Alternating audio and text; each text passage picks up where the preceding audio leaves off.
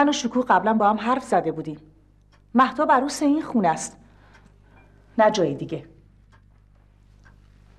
رحمه خانم دوازده سال از وقتی اسم این دو جوان به نام هم خوندیم میگذره. اما هیچی به هیچی. هر دفعه ازت خواستم با بهزاد حرف بزنی ازش بخوای کاری انجام بده یه بهونه آوردی گفتی بذار خودش بگه کی وقتشه. اما هیچ وقت نگفت. اون فکر می‌کنه محتاب به خاطرش صبر می‌کنه.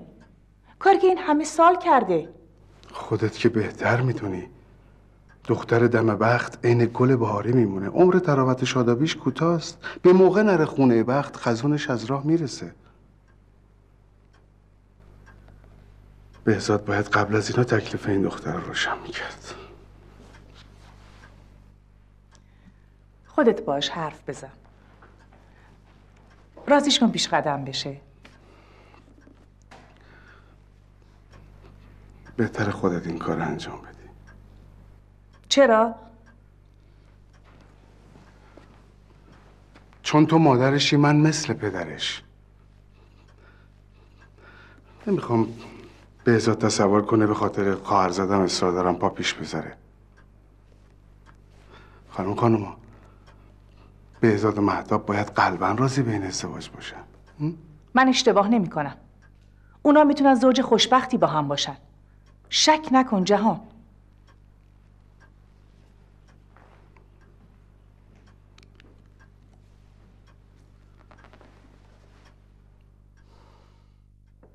میگم حیف شد.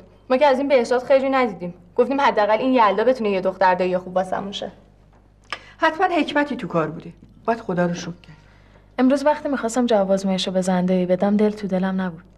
همش فکر می‌کردم می‌خواد اتفاقی بیفته فرض بر این بذاریم که ستایش پیدا شده. من می‌خوام ببینم چه گلی به سر رعنا می‌زنه.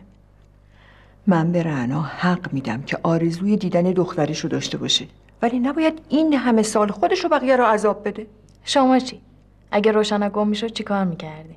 مهتاب جون از خودت مایه بذار. منو چرا گم و گور می‌کنی؟ من به واقعیت فکر می‌کنم نه به اما و اگر و شاید. روشنک پاشو میزو جمع کن که ماسید امشب نوبتی هم باشه نوبت مهتابه. پاشو جر نزن. دیشب من شستم. من امشب با مهتاب کار دارم. پاشو جمع کن. ده. هنوز که نشستی؟ پاشو. خب باشه خب.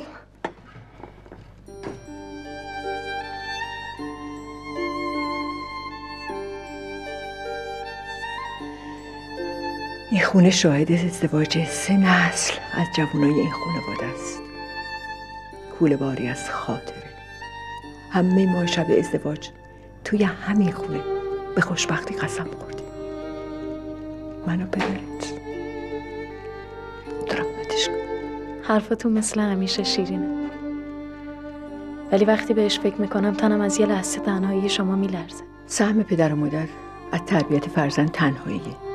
ولی کیه که حسرت این تنهایی رو نکشه؟ ازدواج فرزند نتیجه یک عمر تلاش و زحمته. اگه نباشه مثل کشت بی برداشت چیزی شده؟ کسی حرفی زده؟ یه خواستگار پر و پا قرص داری که زنگ در این خونه رو زده.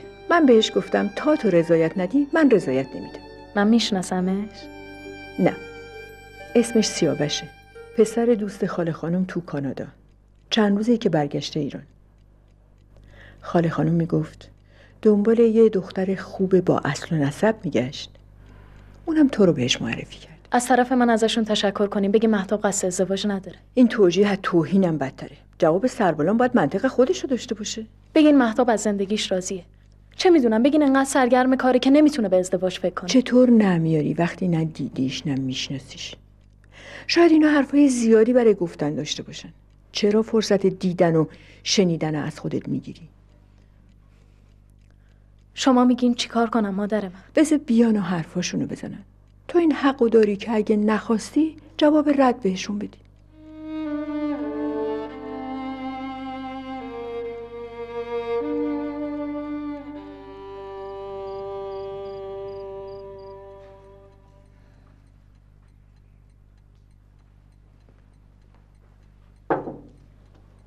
اجازه هست؟ تو هنوز بیداری؟ ماما یه چیزایی می‌گفت. خواستگار و ازدواج و بادا بادا مبارک بادا. بی خودی شلوغش نکن. هنوز که اتفاقی نیفتاده. اینم مثل بقیه. یعنی باز جواب منفیه؟ من همچین حرفی نزدم. پس مثبته. ای بابا نصف شبی اومدی بازجویی؟ بذار یه نصیحتی بهت بکنم مهدا این بهزاد اهل زن گرفتن و تشکیل خانواده نیستا؟ وگرنه تا الان یه اقدامی می‌کرد. کی گفته من منتظر بهزادم؟ خیلی تابلوه. همه می‌دونن. شاید تو چند سال پیش اینطور بود. ولی الان فرق کرده. وقتی دروغ میگی صدات بدجور میلرزه. مهتاب این بهزاد تکلیفش با خودش هم معلوم نیست. گیج می‌زنه. باز که حرف خودتو می‌زنی روشنک من نه به بهزاد نه به هیچ کس دیگه ای فکر نمی‌کنم. خب ده اشتباه می‌کنی خواهر من. به این پسره که اومده فکر کن. طرف هم با شخصیت هم تحصیل کرده. خاله خانمم که تاییدش کرده. بعدم من فکر می‌کنم علاقه تو به بهزاد این یه جاده یه طرف است. این تویی که داری انتظار می‌کشی. تمومش می‌کنی یا نه؟ علاقه ای به شنیدن حرفات ندارم. من اگه حرفی می‌زنم فقط به خاطر خودت. تو واسه بهزاد خیلی زیادی. انقدر خودتو دست کم نگیر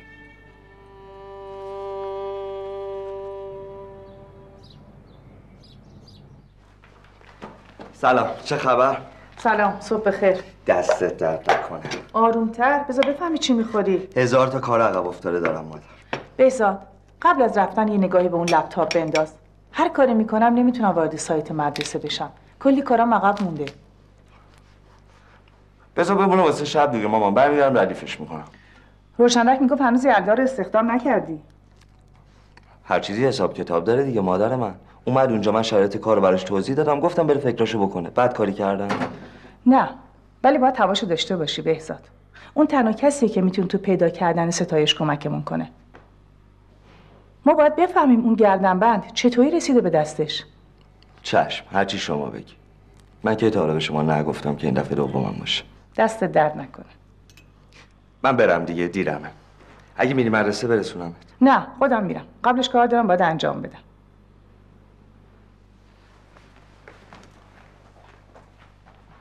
بهزاد.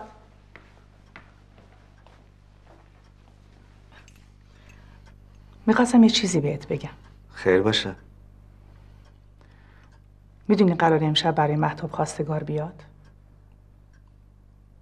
واقعا. مبارکشان نکنه انتظار داری تا ابد به خاطر تو صبر کنه. من که حرفی نزدم بزنم زیرش. اما تو خودت خوب می‌دونی که محتاب این همه سال به خاطر تو ازدواج نکرده. چرا دست دست می‌کنی بهزاد؟ مادر من من که گفتم نمی‌خوام ازدواج کنم. انتظار داری چیکار کنم؟ بگم عمه جون دختر تو شوهر نده. شاید من یه روزی خواستم ازدواج کنم. میبخشید ها. اما تو هم محتاب دوست داری. نداری؟ معلومه که دوستش دارم. دختر عممه. از بچگی هم با هم بزرگ شدیم. فقط دختر عمته؟ مادر من بذار محتاب خودش برای آیندهش تصمیم بگیره. ها شاید این آقایی که داره میاد خیلی هم از من بهتر باشه. چرا باید این شانس رو ازش بگیری؟ تو که اینجوری فکر می‌کردی پس چرا تا حالا چیزی نگفتی؟ نگفتم چون هیچکی ازم نپرسید. نپرسیدیم چون نیازی نبود. ولی حالا دارم ازت می‌پرسم. مادر من عجله دارم. بمونه واسه وقتی که دست شما هم درد نکنه.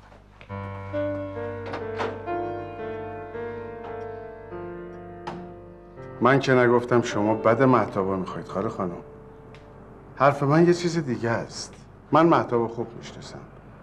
اون دختری نیستش که خانوادش رها کنه به خاطر ازدواج بیاد اون سر دنیا.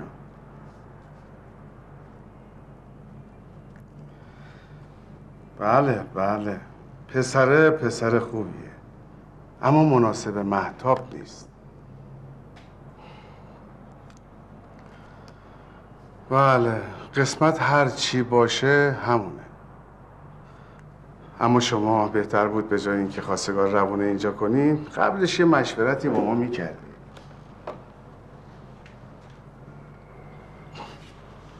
مرغ شما که همیشه یه پا داره خاله جون. بازم که شما داری حرف خودتو می‌زنی. به هر حال دست شما درد نکنه. به همه سلام برسون خدا نگهدار.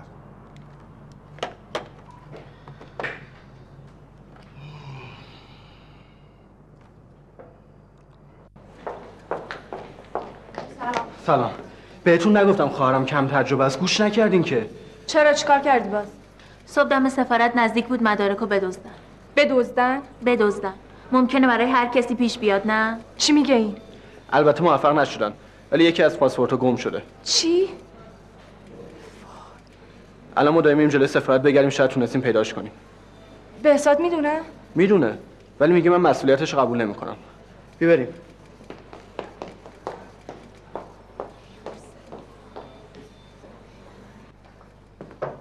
سلام. همین الان از آقا رامی شنیدم چی شده. دختری بیورزه می‌دونستم ارزه انجام هیچ کاریو نداره. تو که می‌دونستی واسه چی مدارک دادی بهش؟ ها؟ نگفتی اگه اتفاقی بیفته جواب مردمو چی بدی؟ به من چه ربطی داره؟ خوب از روز اول گفتم این کاره نیست. والا شما رفیق بازیتون گل کرد که مبادا یه وقت به تیر شقبای آقا رامین بر بخوره. آهینم نتیجهش. روشنک خانم.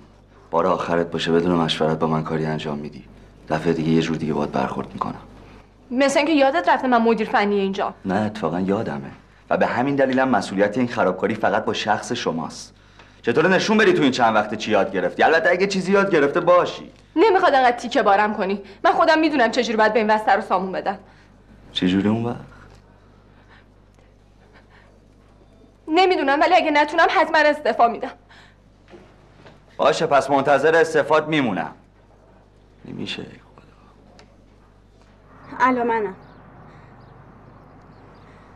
می‌ذاری حرف بزنی؟ همینطوری می‌خوای داد بزنی؟ به خودم ربط داره کجام؟ مطمئن باشه که مجبور نبودم بهت زنگ نمی‌زدم.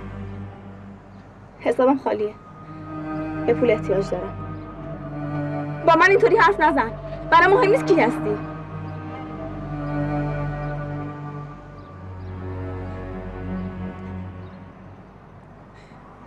محاله. دیگه هیچ ملاقاتی در کار نیست. فقط زنگ زده بودم یه خود پول ازت بگیرم همین.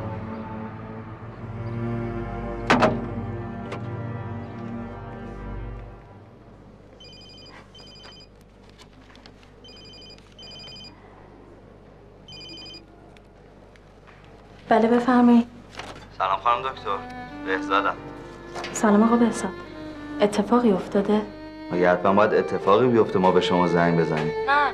فقط خیلی ناگهانی و بی سابقه است. آره زنگ زدم بپرسم که این ترجمه رو یه نگاهی کردین؟ تمومش نکردم ولی تو همین یکی دو روز میخونمش. لطف می‌کنید راستی امشب یه کنسرت سنتیه. یکی از این مسافرهای ما یه شیش تا بلیت به من داده. گفتم اگه بشه با مادر و آقا جون و عمه خانوم اگه آخه اصلا حواسم نبود شما امشب مهمون داریم نمیشه فردا شب بری؟ نه دیگه بلیطا مال امشب بود. حالا انشالله قسمت بشه یه شب دیگه. خواهش می‌کنم. ببخشید مزاحم شدم خدا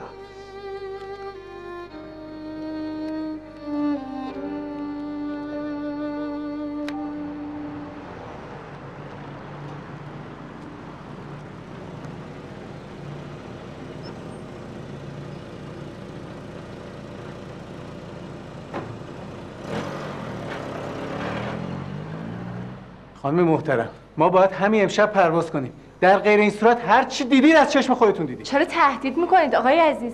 من که خدمتتون عرض کردم. باور کنید این تاخیر از قول سفارت نما. کمکاری خودتون رو به اسم سفارت ننویسید خانم محترم. خانم محترم من دیگه با شما صحبتی ندارم. رئیس کیه؟ کجاست؟ من اینجا خودم مدیر فنی ام ولی مدیریت اونجاست. بریم.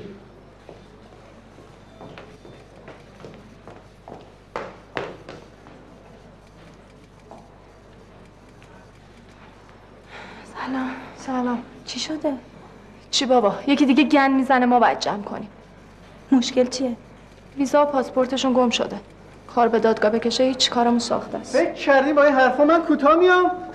کور خوندین آقای فخاری بهتر نیست مسئله رو همینجا بین خودمون حل کنیم؟ اگه می‌خواست حل بشه تا حالا حل شده بود. همتون رو می‌کشم پای میز محاکمه. فکر کردین شهر هرته؟ حالیتون می‌کنم با کی طرفین ببرین ببخشید چند لحظه اجازه بدین؟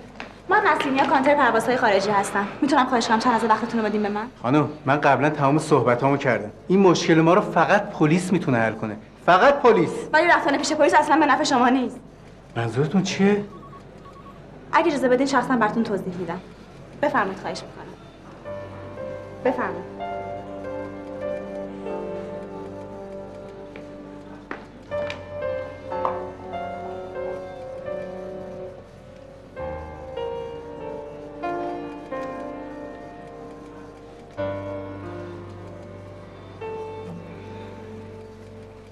چای یا قهوه؟ بهتره بریم سر اصل مطلب. بسیار خوب. اصل مطلب اینه که ما پاسپورت شما رو به علت سهلنگاری یکی از همکارا گم کردیم. گم کردین به همین راحتی؟ گم کردن. راستش ما هم خوب بلدیم با این مشکلات چطوری کنار بیایم. ببینم. فکر کردین با این حرفا می‌تونید منو بترسونید؟ شما در مقابل مدارک من مسئولید. مسئول! مدارک؟ منظورتون چیه؟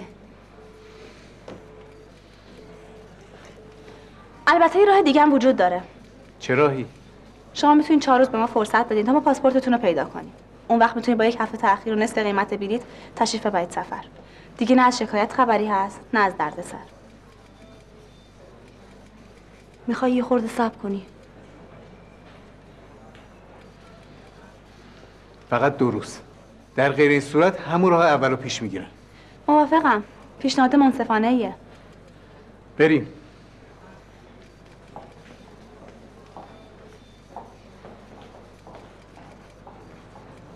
به دوستتون بگین تشریف بیارن تو اتاقم.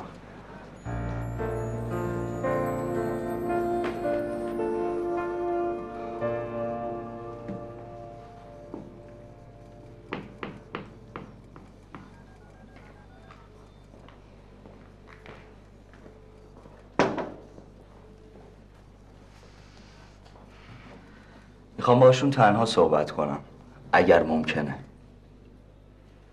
بله.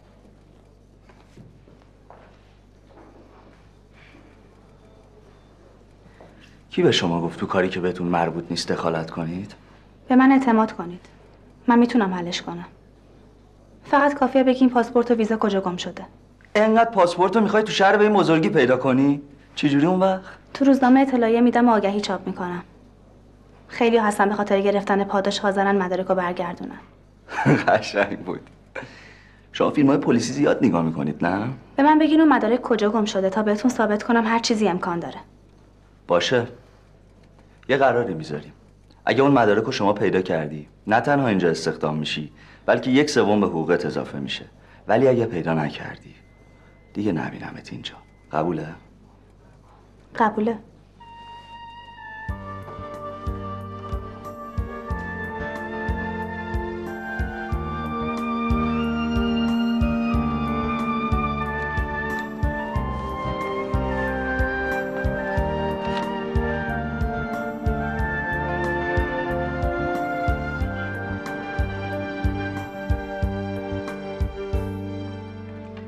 تو هنوز حاضر نشدی؟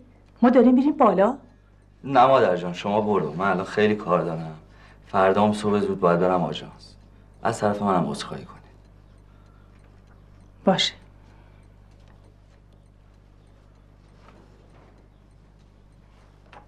اخوی بنده که به عبارتی پدر آقا سیاوش باشه چهار سال پیش عمرشو داد به شما. خدا رحمت خدا هم شما رو هم بیامرزه.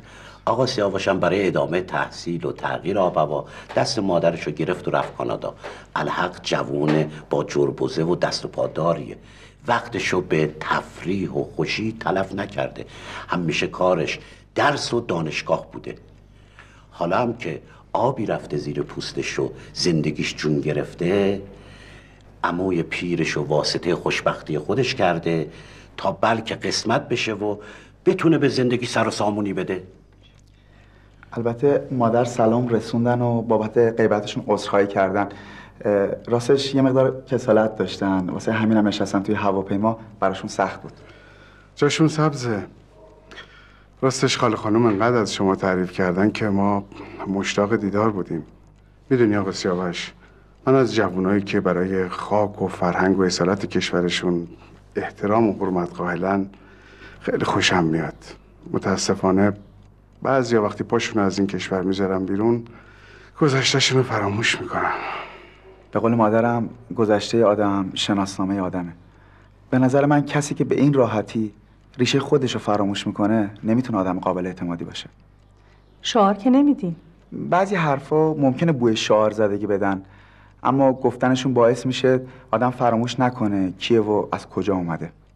ببخشید پسرم. خیلی مونده درستون تموم شه؟ نزدیک دو سال. بعدش هم اگه خدا بخواد برمیگردم ایران و همینجا مشغول به کار میشم. از چند تا شرکت معتبر پیشنهاد همکاری دارم. دل کندن از اونجا براتون سخت نیست؟ دل کندن از اینجا برام سخته. از وقتی از ایران رفتم همش دل دل می‌کنم درسم زودتر تموم بشه و همراه مادرم برگردم.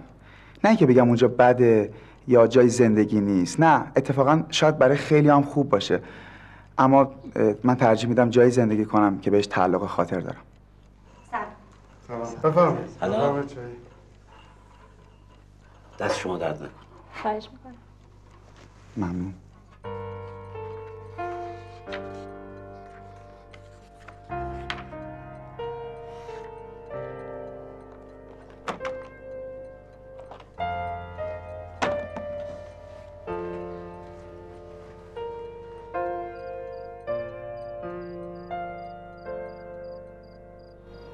این خونه منو یاد دوران کودکی میندازه. یه حس نوستالژیک عجیب. خونه ما خیلی شبیه اینجا بود. یادش بخیر اما حالا شده یه برج 20 طبقه. متاسفانه زندگی مدرن امروزی خیلی از خاطرات دوران کودکی رو از بین برده. ولی مثل اینکه شما علاقه زیادی به آداب و رسوم ایرانی داری. شاید به خاطر سالها دوری از اینجا باشه یه جور احساس دین. می‌تونم ازتون بپرسم چرا می‌خواین همسرتون ایرانی باشه؟ زبان فرهنگ اصالت پارسایی دلایلش خیلی زیاده. مثلا نجابت زن ایرانی که ریشه در دیانتمون داره هیچ کجای دنیا پیدا نمیشه. حالا شما بگین در مورد من چی فکر می‌کنید؟ به نظر من شرایط شما از هر لحاظ ایدئاله. به زبون ساده تر هر دختری با یه دو دو تا چارتای ساده حتما به شما جواب مثبت میده. ولی مشکل من اینجاست که هیچ وقت تو زندگیم آدم حسابگری نبودم و نیستم. راستش من فکر نمی کنم بتونم همسر مناسبی برای شما باشم. می‌خوام یه سوال کوچیک از شما بپرسم. خواهش می‌کنم راستش رو بگین. پای شخص دیگه ای در میونه؟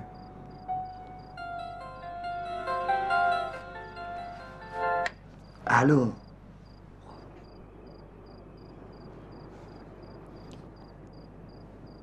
این سوال خیلی شخصیه. بسیار خوب. به شما قول میدم که این موضوع بین من و شما بمونه. به همه هم میگم که من و شما به توافق نرسیدیم.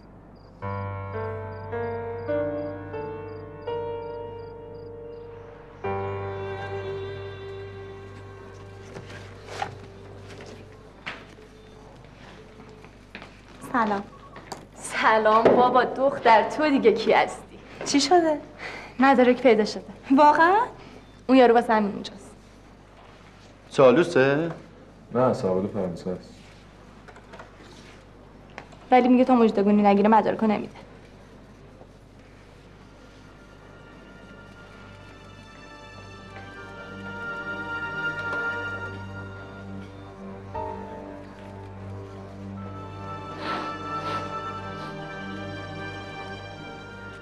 سلام. سلام. کجاست؟ اول مجدگونی باید مطمئن شم.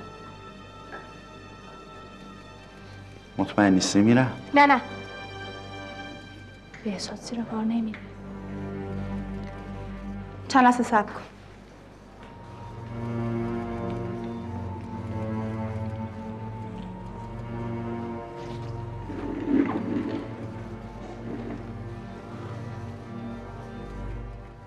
پونصد هزار تومن؟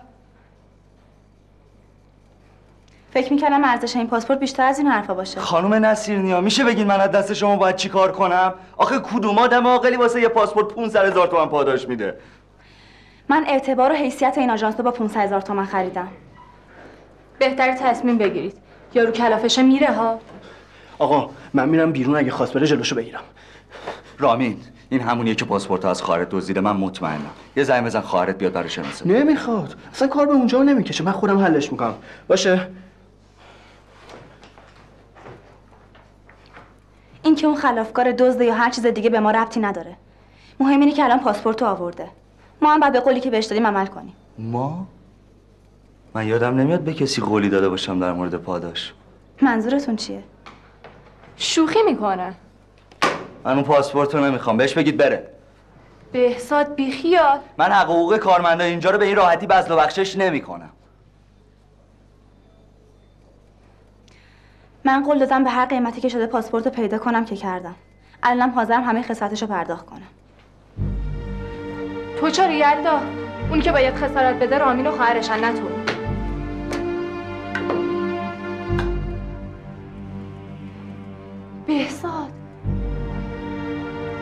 من فکر می‌کنم حق با ایشونه. من باید تمام کمال به حرفی که زدم عمل کنم.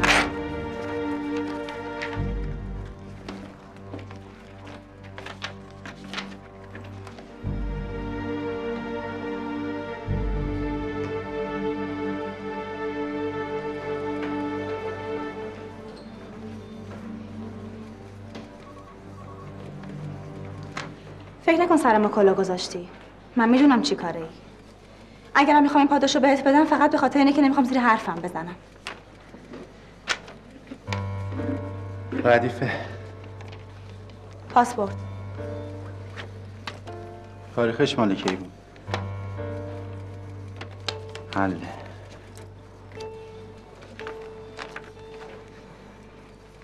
خودشه. می‌تونی بری. با اجازه.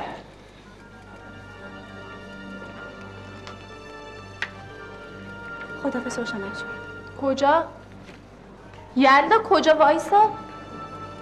آقا بهزاد راست میگه من اصلا به درد این کار نمی‌خورم. خدا. نه. یلدا بابا.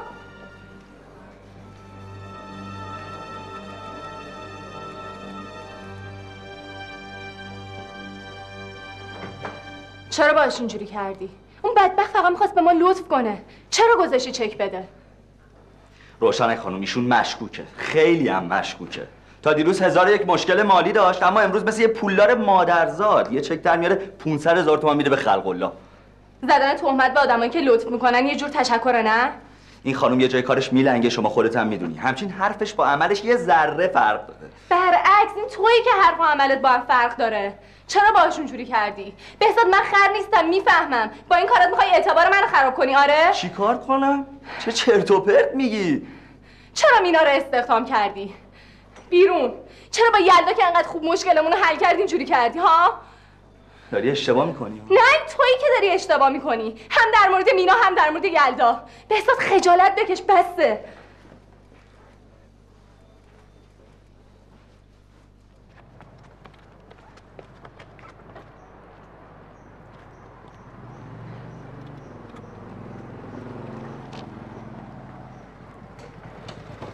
سلام عرض کردم. راستش اونجا رو اون نشو ازتون تشکر کنیم. گفتم بیادبی های خدمت نرسه. نیازی به تشکر نیست.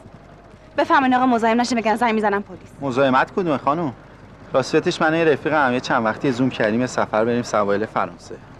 گفتیم حالا که با شما آشنا شدیم و جیبمون پر پول شده زحمتشو بندازیم گردن شما تا کارمون زودتر راسولیس بشه. این موضوع به من ربطی نداره. بفهمین آژانس آقا. آها نشد که نگران نباش. میشه. حال من